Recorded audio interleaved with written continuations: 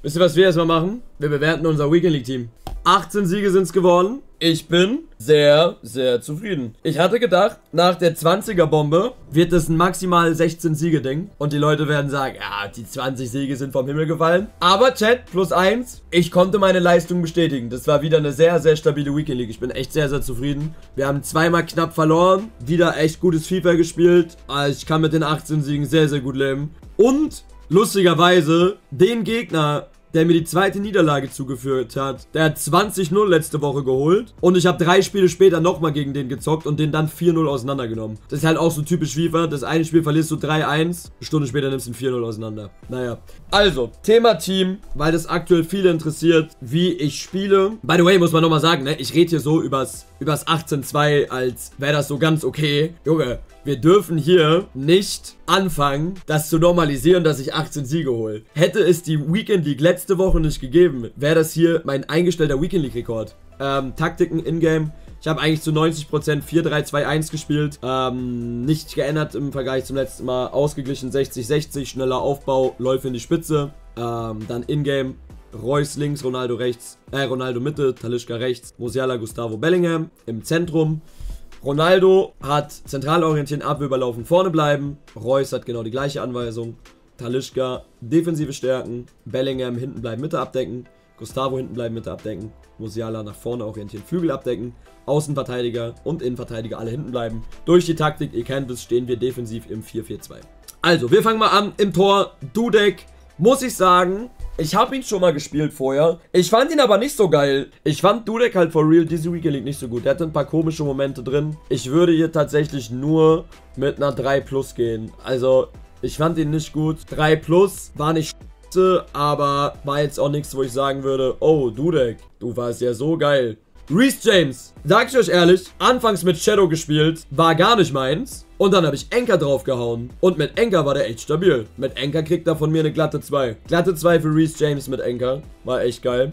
Ähm, ich habe das nach 10 Spielen gesagt. Hat sich die ganze Weekend League bestätigt. Für mich, glaube ich, der beste Innenverteidiger, den ich bis jetzt gespielt habe. Muss ich ehrlicherweise sagen. Mir fällt jetzt in der jüngeren Vergangenheit nichts Besseres ein. Also Ferdinand war letzte Woche krass. Die waren schon sehr strong, aber Delicht ist nochmal ein anderes Level für mich. Also Delicht 1 plus mit Sternchen, bester IV im Spiel für mich. Der hat alles. Der hat Pässe, Dribbling, Physis, Körper, Tempo, Verteidigen. 1 plus mit Sternchen für Delicht. Da lohnt es sich sogar über anderthalb Millionen für den auszugeben. Der ist ja wirklich teuer. Ich glaube, der liegt äh, so bei 1,7, 1,8 Millionen. Ich würde es halt sogar ehrlich für den zahlen. Und das habe ich am Anfang nicht kommen sehen. Ruben Diaz. Würde ich auch eine gute Note geben. Den fand ich auch übertrieben sick. Ähnlich wie Delicht, aber so einen Tacken schlechter. Ich würde bei Ruben Diaz mit einer glatten 1 gehen. Delicht 1 plus, Ruben Diaz glatte 1. War schon sehr geiles Partnership. Dann gebe ich tatsächlich nochmal eine 1 plus. Ähm, und das Alfonso Davis. Ich schwör's euch, der hat jeden Zweikampf gewonnen. Er war so gut. So krasses Tempo, so gute Zweikämpfe, geiles Dribbling, 5-Star-Skills auf seinem Tots. 4 Sterne Week, super Pässe, Ausdauer top, alles top. 1 plus für Alfonso Davis. Ich finde ihn tatsächlich defensiv besser als Roberto Carlos Trophy Titans. Offensiv, Maul, finde ich aber ähm, Roberto Carlos besser. Offensiv Roberto Carlos besser, defensiv Davis. Luis Gustavo. Ich sag euch ehrlich, unfassbar nice Karte, for free. Gebe ich eine glatte 2. Ich glaube, ich gebe sogar eine 2 plus, weil der ist for free echt sick. Richtig guter Sechser, gute Passwerte, gute Tempowerte. Defensiv übertrieben stark. Ich gebe sogar eine 2 plus, weil die ist halt legit umsonst, Alter. Der ist echt stark. Also ihr bekommt halt wirklich echt einen guten, bulligen Sechser, der aber trotzdem Fußball spielen kann. Und der ist so zweikampfstark. Ich finde ihn übertrieben nice. Bellingham. Was soll ich euch erzählen? Das ist ein absolutes Brett, Bellingham. Ich sag nur eine Sache und das ist mein einziger Kritikpunkt. Und das ist wirklich der einzige. Ich persönlich habe das Upgrade zum Team of the Year nicht so krass gemerkt. Aber das war vielleicht auch mein eigener Fehler, weil ich halt den Totti Bellingham gespielt habe und mir gedacht habe, jetzt muss der Tots kommen. Der muss noch viel besser sein. Das habe ich jetzt nicht gesehen. Aber er ist halt trotzdem einer der besten Achter im Spiel. Ich kann dir nichts anderes als eine glatte 1 geben, Alter. Der hat alles auseinandergenommen. Der war halt schon sick, ne? Du hast halt wirklich ein Komplettpaket, vor allem jetzt auch noch mit 5 Sternen Weakfoot. Ähm, du hast die perfekten Arbeitsraten für die 8. Du hast 99 Ausdauer. Hier ist alles über 90. Ihr könnt die Karte selber sehen, Alter. Also, das ist... Pff. Mülleimer der Woche. Glatte 4. Ich finde den nicht gut. Also, vielleicht werde ich eines Besseren belehrt, wenn ich den auf der 10 spiele. Aber auf der 8 war der eine Enttäuschung. Ich fand sein Zweikampfsverhalten okay. aber ich fand sein Dribbling hat sich niemals wie 98 angefühlt. Seine Pässe waren okay und sein Schuss war eine absolute Vollkatastrophe. Ich hab, der hat vier Sterne schwacher Fuß, der hat so häufig mit dem, aufs leere Tor mit dem linken Fuß geschossen, ans Tor vorbeigekullert. Ähm, ich fand den wirklich, ich fand den nicht geil, Alter. Also ich hoffe einfach, dass ich mal auf äh, den auf der 10 spielen kann, da eines Besseren belehrt werde, aber auf der 8 gebe ich dem eine 4. Also für den 2 Millionen auszugeben, für die 8, bitte nicht machen. Fand den echt nicht geil. Offensive. Talischka.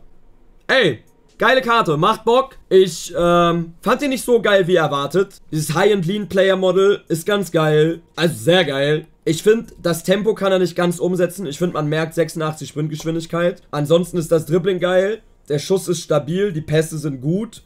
Ähm, er ist eine geile Karte und er macht Bock, aber mehr nicht. Also es ist jetzt nicht, oh wow, er hat alles auseinandergenommen. Ich würde mit einer glatten 2 gehen. Ich fand ihn gut, der hat Bock gemacht, der war nice.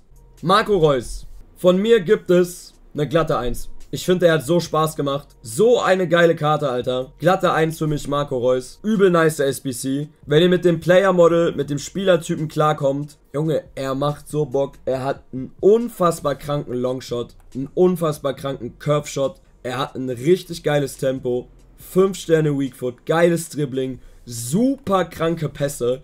Ich kann dem nichts anderes als eine glatte 1 geben. Ich finde den richtig, richtig geil. Also die Scorer sind natürlich auch sehr stabil, muss man sagen. Ich glaube, bei Talischka sehen die auch nicht so schlecht aus. Ja, Talischka ist, glaube ich, sogar mehr Scorer. Ist ja krank, wie manchmal dann die selektive Wahrnehmung rein, reinschallert, ne? Talischka sogar mehr Scorer. Aber ich äh, fand Reus halt trotzdem irgendwie besser, muss ich sagen. Ähm, aber kommen wir zu dem, auf den ihr wartet. Rucksack der Woche 1 plus mit Sternchen. Der Bruder hat 98 Scorer in 38 Spielen gemacht. Was soll ich euch erzählen? Der Typ im Sturm mit Architekt. Gute Nacht. Es gibt für mich keinen Kritikpunkt, außer den Preis und dass er halt zu linken ist in der Saudi League. Aber an sich ist es eine 1 plus mit Sternchen und ein übel geiler Stürmer. Also der fühlt sich für mich wirklich an wie eine Ronaldo Team of the Year Karte aus den letzten Jahren. Unfassbar geile Karte. Das Dribbling ist übertrieben nice. Abschluss ist übertrieben krass. Kopfbälle sind unfair.